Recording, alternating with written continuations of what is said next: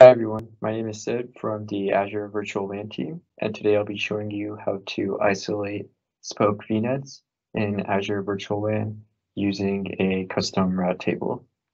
So here I have a setup with just one hub. I'm calling it an Azure portal YouTube underscore hub one to show that this is for a YouTube demo purpose. And connected to the hub, I have several branches. Here in this diagram, we see a point to site user, two site-to-site VPN branches, and then an express route circuit. But regardless, the process for isolating VNets remains the same. And then here I have a spoke VNet 1 and another spoke VNet 2. And my goal is to isolate the VNets such that they are not able to talk to each other, but they are able to talk to the branches. And the branches should be able to reach these different spoke VNets. So in order to get this done, we have to use the propagation and associated route tables in Azure Virtual WAN. So for the VNet connections, we are going to associate to a custom route table, meaning that we will learn routes from that custom route table, and then we will propagate to the default route table. So we will put in routes to default route table that will indicate how other uh, entities within virtual WAN can reach these spoke VNets, such as these branches.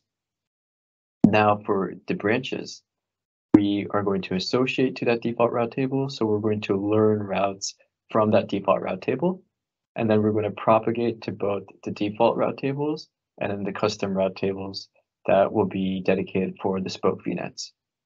And so essentially, the branches are propagating to all the route tables we have available.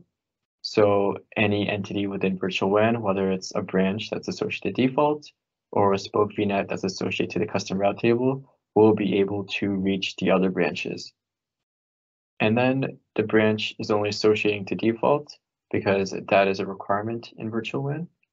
And then regarding the spoke VNets, uh, be, given that we're only associating to the custom route table, we'll only be able to reach the branches, but then we will propagate to default so that the branches are able to learn the routes needed to get to the spoke VNets. So let's go to Azure Portal. And here in Azure Portal, I have navigated to the virtual WAN resource. And so let's first look at the initial default route table. So here I have one hub, and in this hub, I have configured several VPN gateways um, to represent branches in our workflow. So I have the VPN site-to-site -site gateway, a user VPN gateway. And then if I go here on the left-hand side and click on routing and displayed, they'll then take me to the route tables that we currently have configured by default. And so we'll give that a second to finish loading. And then here we see default and we see none. And then for default, if um, I were to click on that, I can see I can edit the route table and there are uh, there's a default label, and then if I click on associations, I see that the branches are associated to this default route table. And then for propagations, I see that these branches are also propagating routes to the default route table. So now if I were to go back to uh, this hub resource, what I want to do is now create a custom route table. So I'll click on here plus create route table. And then we will call it route table underscore custom underscore VNets. And then let's click next to labels. Let's not worry about giving it a label for now, but labels allow you to group multiple route tables together. For branches, as I said earlier, branches cannot associate to custom route tables. They can only associate to default route tables. So I'll click next to propagations. And then here on propagations, I do want branches to propagate to this custom route table. So I will say yes here under branches. Then here we can see another part of this workflow that says propagate routes from all branch connections to these labels across virtual WAN and this is simply the default label that is given to all the default route tables. So here I can simply click create. I've essentially created a custom route table that has branches propagate uh, to this custom route table. And I already have branches propagating and associating to the default route table. So we'll give that a second to update. And in the meantime, we will create our Spoke VNet connections. So if I go to my hub resource, and then I go to my virtual WAN resource, I can now, on this left-hand blade, go down to virtual network connections. We'll give that a second to load. And what essentially I'll be doing is creating connections between the Spoke VNets and the hub. So as you can see right now, I don't have any connections. I'm going to have to add a connection. And we'll just call this VNet connection one. We'll connect it to our one hub. Put in the resource group. Put in the Spoke VNet. And then here, I want to propagate to the default route table. I don't want to propagate to none. And then I want to associate to the custom route table. So associate to custom, propagate to the default route table. And I am not worried about propagating to labels because I'm already propagating to that specific default route table. I don't need to worry about adding any static routes for now. So I will click create.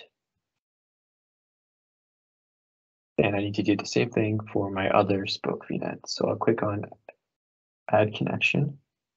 And then here I'll say VNet connection two.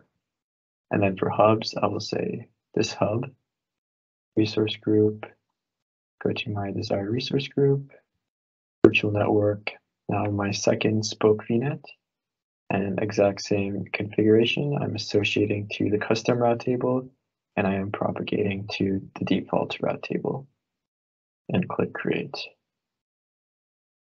We'll give that a second to finish loading. Usually takes about a minute or so. All right, so it looks like we have finished configuring the Spoke VNet peering with the hub. And as you can see here, under virtual network connections, we have two virtual networks, two connections, connection is succeeded, it's associated to the custom route table and it's propagating to the default route table.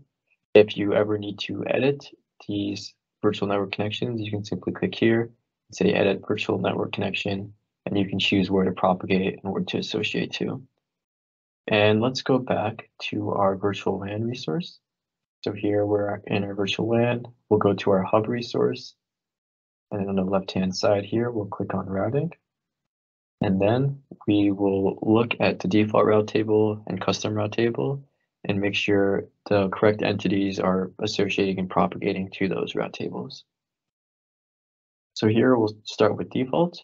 So if I were to click here on default, I see for associations that the branches are associating to this route table as expected. And I see here under propagations that the branches are also propagating to the default route table, and also that the virtual networks are propagating to the default route table. And here I can see there's two virtual networks here.